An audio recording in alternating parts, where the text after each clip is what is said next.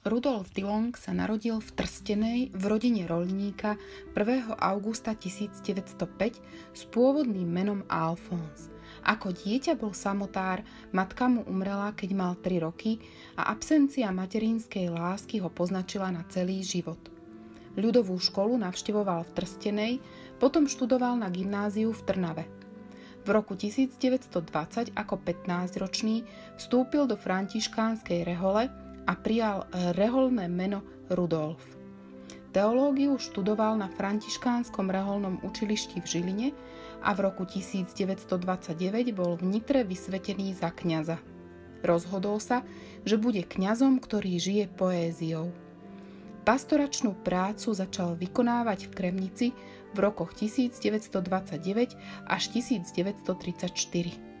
Literárne bol činný od študentských čias – no práve v kremnickom období mu knižne vyšli prvé zbierky básní Budúci ľudia, Slávne na holiach a Dýchajte lazy, v ktorých sa orientoval na motívy prírodnej liriky. Počas pobytu v kremnickom kláštore bol redaktorom katolických časopisov Serafínsky svet a priateľ dietok. Okrem Kremnice pôsobil ako kazateľ v niekoľkých kláštoroch na Slovensku. Boli to Trnava, Nitra, Malacký, Hlohovec a Skalica. Počas pobytu v Malackách spoznal Valériu Rajsovú, mladú poetku židovského pôvodu. Ich vzťah po rokoch odtajnila spisovateľka Denisa Fulmeková v knihe Konvália Zakázaná láska Rudolfa Dilonga. Starou mamou spisovateľky bola práve tá osudová žena Valéria Rajsová. Ich nevinné literárne schôdzky sa postupne premenili na otvorene ľúbostné a ich vzťah v malom meste nebolo možné utajiť. Dilonga preto preložili do kláštora v Hlohovci, na čo zareagoval tým, že si za peniaze získané v literárnej súťaži kúpil motorku. Básnikov nekonvenčný profil dotvára tiež humor a satyra vo verbálnych diskusiách, ktoré často spestroval hrou na ústnej harmonike. Mal talent aj na kreslenie, čo dokazujú jeho perokresby v knihe Mladosť z očistca. Počas vojny v roku 1941 sa stal Dillong dôstojníkom slovenskej vojenskej duchovnej služby na východnom fronte.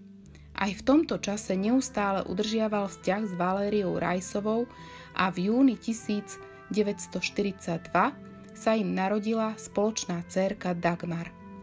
Vďaka Dilongovým kontaktom s poprednými predstaviteľmi slovenského štátu uchránil Valériu aj s dcérou pred deportáciou. Svojej milej zabezpečil falošné doklady a tiež nové bývanie v Bratislave, keďže po smrti rodičov už nemohla ostať v Malackách.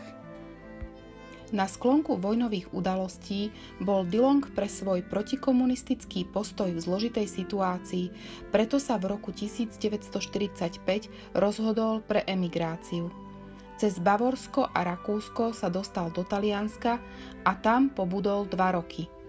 Potom sa mu podarilo dostať až do ďalekej Argentíny, kde v kláštore v Buenos Aires pôsobil ako duchovný slovenských farníkov do roku 1965.